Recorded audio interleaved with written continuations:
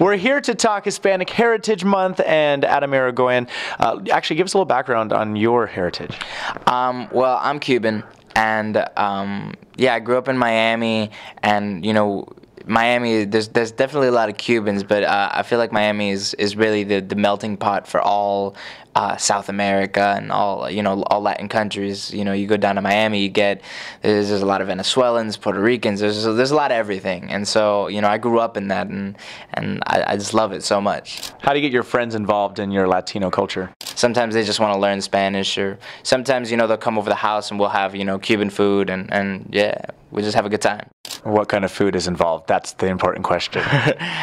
good food. You know, every every holiday, uh, you know that we we uh, that we celebrate, we always uh, implement a lot of Cuban food, and that's the best food ever. You know, you get your rice and beans, and then on Christmas you got the the roasted pig. It's amazing. Do you have any Latino mentors? My dad is probably my biggest mentor.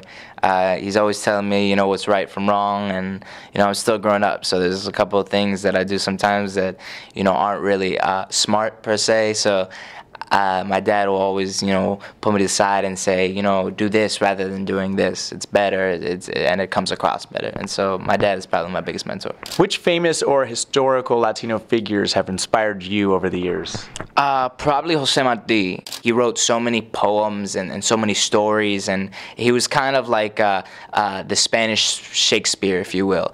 Um, so, and I really, I really look up to him, and you know, he did uh, so much. He was a part of the war, and and he, he really did a lot um, for for Cuba and and you know for Hispanic culture all around. Awesome.